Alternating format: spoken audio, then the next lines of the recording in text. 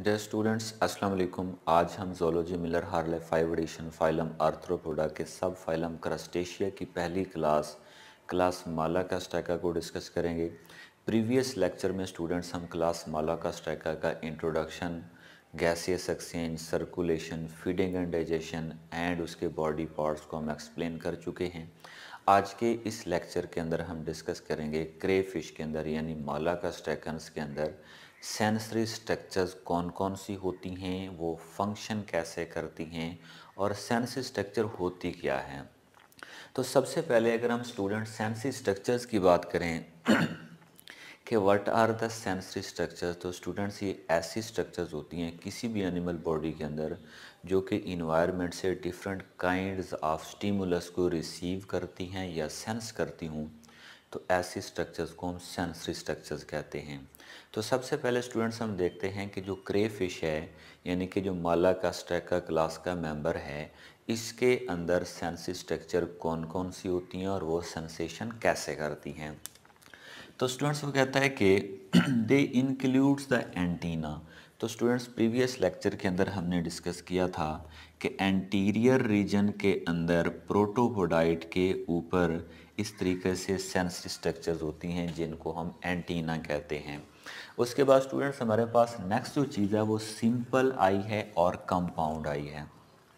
तो स्टूडेंट्स बहुत सारे ऐसे स्टूडेंट्स होते हैं जिनको सिंपल और कंपाउंड आई के बेसिक डिफरेंस का पता नहीं होता। तो स्टूडेंट्स आज के इस लेक्चर में गौर से सुनिएगा ताकि आप हमेशा के लिए सिंपल और कंपाउंड आई के अंदर फ़र्क में आपको कोई प्रॉब्लम ना हो। तो स्टूडेंट्स मैं एक शॉर्ट सी डायग्राम से बेसिक कंसेप्ट आप लोगों को बताने लगा हूँ सिंपल आई का और कंपाउंड आई का।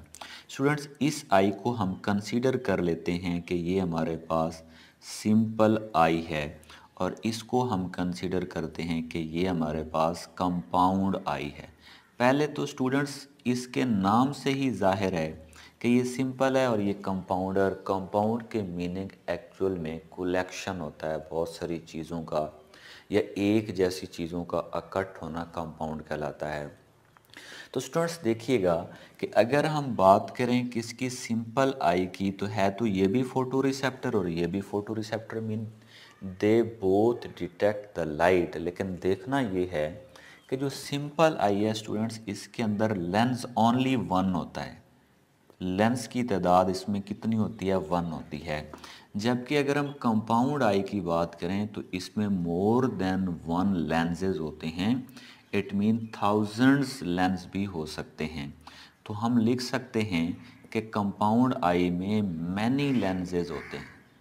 मैनी लेंसेज उसके बाद स्टूडेंट्स, अगर हम बात करें तो एक्चुअल में यहाँ पर सिर्फ़ और सिर्फ़ लेंस पाया जाता है, लेकिन इसमें बहुत सारे यूनिट्स होते हैं जिनको हम ओमाटिडिया कहते हैं और ओमाटिडिया के अंदर लेंसेज होते हैं। जबकि इस सिंपल आई के अंदर जो लेंस होता है वो ओनली सिंगल लेंस ही होता है और इसके अंदर कोई चीज़ प्रेजेंट नहीं होती। तो उम्मीद है स्टूडेंट्स आपको सिंपल और कंपाउंड आई का जो फ़र्क है वो वाजे हो गया होगा।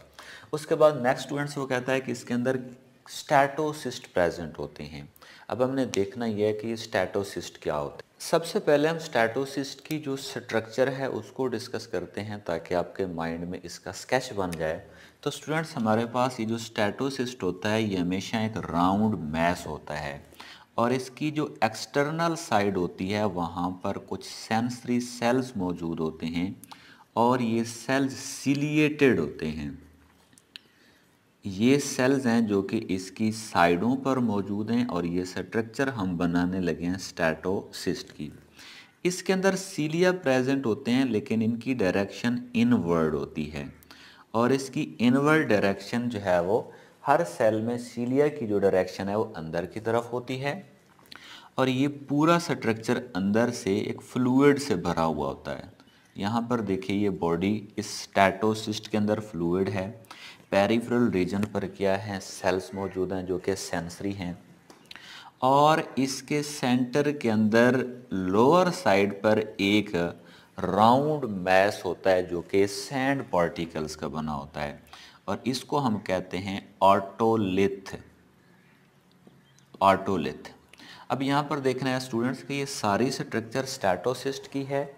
स्टैटोसिस्ट के अंदर फ्लूड और फ्लूड के अंदर ये एक और राउंड मैस है जिसे हम स्टैटोसिस्ट कहते हैं और ये सारे स्ट्रक्चर को हम स्टैटोसिस्ट कहते हैं।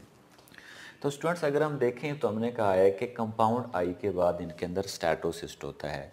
तो स्टूडेंट्स, बात ये है कि जो स्टैटोसिस्ट है, ये इनकी बॉडी का जो एक्जोस्केल्टन होता है, ये वहाँ पर एडजस्टेड होते हैं। और जैसे ही इनके एक्जोस्केल्टन में मोल्टिंग का प्रोसेस होता है तो ये हर वक्त, हर मोल्ड के दौरान ये बॉडी से रिमूव हो जाते हैं। और दोबारा जब इनकी स्किन या एक्जोस्केल्टन बन रहा होता है तो फिर ये रीफॉर्म हो जाते हैं, यानी दोबारा बन जाते हैं। अब देखना ये है स्टूडेंट्स कि हमने इसकी स्ट्रक्चर को तो पढ़ लिया कि ये राउंड माइस मैस है और उसके अंदर एक और राउंड मैस है, जिसके अंदर सिलिएटेड सेल्स के साथ फ्लूड है। तो फिर ये बॉडी के अंदर सेंसेशन कैसे करते हैं? तो students due to presence of fluid and ऑटोलिस जब बॉडी मूव करता है बट अपनी बॉडी पोजीशन को चेंज करता है, मिसाल के तौर पर हम कहते हैं कि इस तरीके से बॉडी ने इधर को चेंज किया है तो डेफिनेटली ये जो स्टैटोसिस्ट है, ये भी मूव करेगा टिल्ट करेगा। तो जब ये टिल्ट करेगा तो ये वाले सीलिए क्या करेंगे? यहाँ से इधर की तरफ़ मूव करेंगे, जबकि ये जो ऑटोलिथ होगा, ये इधर की तरफ़ मूव करेगा। तो जब ये ऑटोलिथ मूव करेगा तो जो सीलिया होंगे, ये उनको स्टिमुलेट करेगा। तो सीलिया की जो स्टिमुलेशन होगी, वो इनके नर्वस सिस्टम की तरफ़ एक्शन पोटेंशियल लेके जाएगी, जिससे ये अपने बॉडी की पोजीशन को बॉडी की डायरेक्शन को बॉडी के इक्विलिब्रियम को सेंस करते हैं।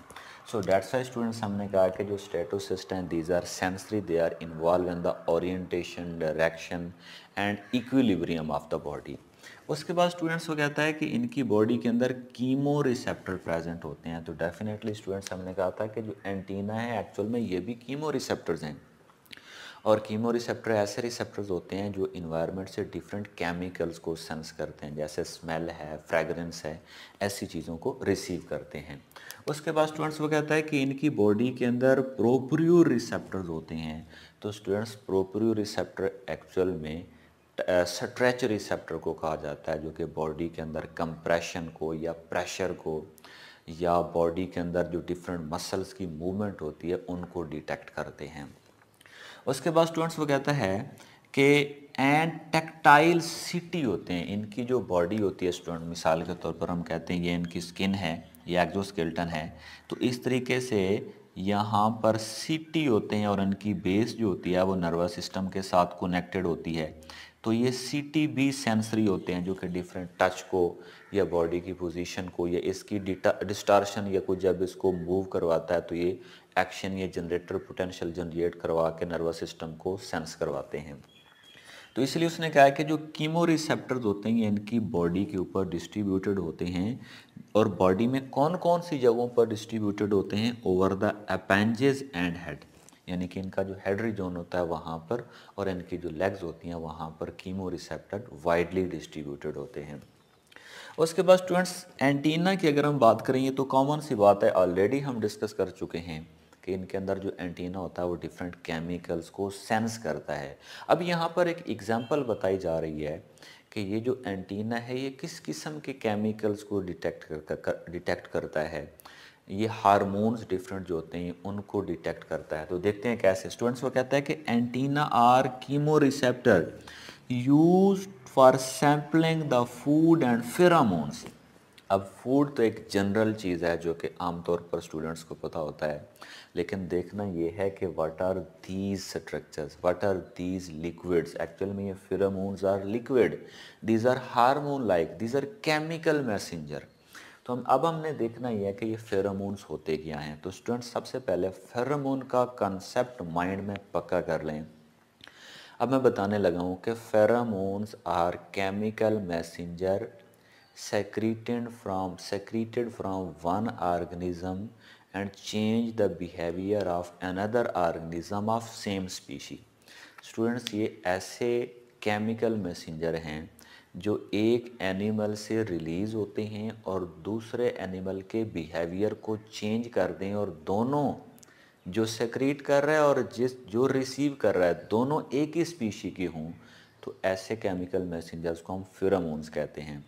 तो हम ये कह सकते हैं कि pheromones are chemical messenger secreted by one organism and change the behaviour of another organisms of same species such chemical messengers are known as pheromones तो स्टूडेंट्स ये एंटीना कीमो रिसेप्टर हैं जो कि फ़ूड की सैम्पलिंग भी करते हैं food की डिटेक्शन भी करते हैं, साथ में फिरामोन्स के रिसेप्टर को भी फिरामोन्स को भी सेंस करते हैं।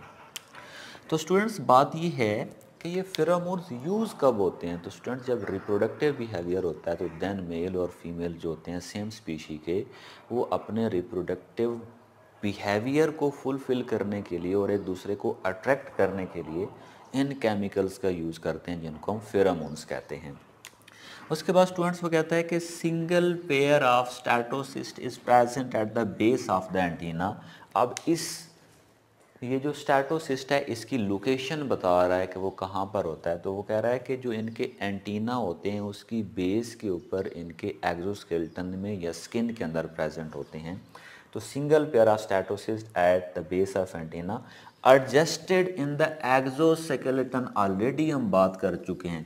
थ्रू अ स्मॉल डिप्रेशन मतलब इनका जो एंटीना होता है, उसकी बेस के ऊपर एक्जोस्केल्टन में छोटे छोटे डिप्रेशन छोटे छोटे गढ़े होते हैं, जिनके अंदर ये स्टैटोसिस्ट प्रेजेंट होते हैं। और इनके फ़ंक्शन स्टूडेंट्स अगर हम बात करें तो ये स्ट्रक्चर और फ़ंक्शन ऑलरेडी हम डिस्कस कर चुके हैं कि स्टैटोसिस्ट आर राउंड मैस होता है। डैट कंटेन अ फ्लूड ये पहले हम बता चुके हैं। ये राउंड मैस है, इसके अंदर जो है वो फ्लूड होता है। सॉलिड सैंड मेड स्टैटोलिथ होता है, ये भी हम डिस्कस कर चुके हैं कि इसके अंदर सॉलिड सैंड मेड स्टैटोलिथ है।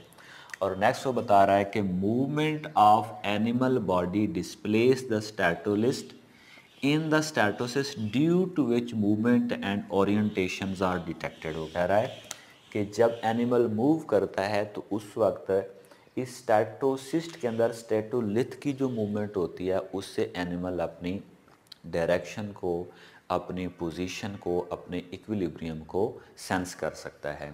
उसके बाद स्टूडेंट्स वो कहता है ये ऑलरेडी ये भी बात हम डिस्कस कर चुके हैं कि statocyst is replaced by each moult कि जो स्टेटोसिस्ट होता है, वो हर मोल्ड के साथ जो है वो रिप्लेस हो जाता है और उसके बाद हमने देखना ये है कि यहाँ पर तो सैंड पार्टिकल्स का बना हुआ आटोलिथ है तो फिर वो दोबारा कैसे बनता है? तो स्टूडेंट्स हमें पता है कि ये ऐसे एनिमल्स हैं जो आमतौर पर रेत के अंदर या सैंड में बरो करते रहते हैं। तो जब इनका पहले वाला मोल्ट होता है तो स्टैटोसिस्ट रिमूव हो जाता है तो दोबारा भी ये सैंड के अंदर ही होते हैं। तो सैंड फिर इनकी जो एक्जोस्केल्टन है, उसके अंदर इनकॉपोरेट कर जाती है और वहाँ पर स्टैटोसिस्ट की फॉर्मेशन के दौरान सैंड स्टैटोलिथ बना देती है। तो इसलिए उसने कहा है कि सैंड इज़ इनकॉपोरेटेड मतलब एंटर हो जाती है during the burrowing next students हमने देखना है कि इसके अंदर प्रोपोरियो रिसेप्टर्स क्या होते हैं। तो स्टूडेंट्स एक्चुअल में ऐसे रिसेप्टर जो बॉडी के अंदर स्ट्रेच को या कंप्रेशन को डिटेक्ट करें, ऐसे रिसेप्टर्स को हम प्रोपोरियो प्रोपोरियो रिसेप्टर्स कहते हैं। तो स्टूडेंट्स आमतौर पर ये इनकी जो अपेंजेज होती हैं, ये वहाँ पर होते हैं, या बॉडी के अंदर जहाँ पर मसल्स होते हैं, ये वहाँ पर होते हैं। तो जिससे वाटर के अंदर या वैसे किसी चीज़ से ये कंप्रेस होते हैं, या इनकी जो मूवमेंट होती है, उस वक्त इनके मसल स्ट्रेच होते हैं तो उस वक्त की जो स्टिमुलेशन होती है, ये उसको सेंस करते हैं। तो हमने कहा कि these are stretch receptors located in the appendages and other body parts ये अपेंजेस यानी लेग्स के अंदर भी लोकेटेड होते हैं और अदर बॉडी पार्ट्स के अंदर भी लोकेटेड होते हैं। तो कहता है कि they are stimulated during the stretching of muscles and other body parts to detect the body position and tilting इससे क्या होता है स्टूडेंट्स कि बॉडी अगर एक साइड पर टिल्ट हो रहा है या दूसरी साइड पर झुकाव हो रहा है तो ये उस वक्त बॉडी के अंदर जो टिल्टिंग है या जो मूवमेंट है या जो स्ट्रेच है, ये उसको डिटेक्ट करते हैं। तो स्टूडेंट्स ये प्रोपोरियो सेप्टर ऐसे क्रस्टेशियंस के अंदर ज़्यादा इंपॉर्टेंट होते हैं, जिनके अंदर ये वाली स्ट्रक्चर यानी कि स्टैटोसिस्ट नहीं होता। तो इसका मतलब ये हुआ कि डिफरेंट काइंड्स ऑफ़ क्रस्टेशियंस के अंदर कुछ में स्टैटोसिस्ट होता है, कुछ में एबसेंट होता है। तो जिनके अंदर एबसेंट होता है, उनके अंदर ये जो हमारे पास प्रोपोरियो सेप्टर्स हैं, वो बॉडी की पोजीशन को बॉडी के इक्विलिब्रियम को बॉडी की डायरेक्शन को बॉडी की ओरिएंटेशन को डिटेक्ट करते हैं। तो इसलिए उसने कहा है कि they are important in crustaceans which lack the statocyst ये ऐसे क्रस्टेशियंस के अंदर ज़्यादा इम्पोर्टेंट होते हैं जिनके अंदर स्टैटोसिस्ट एबसेंट होता है।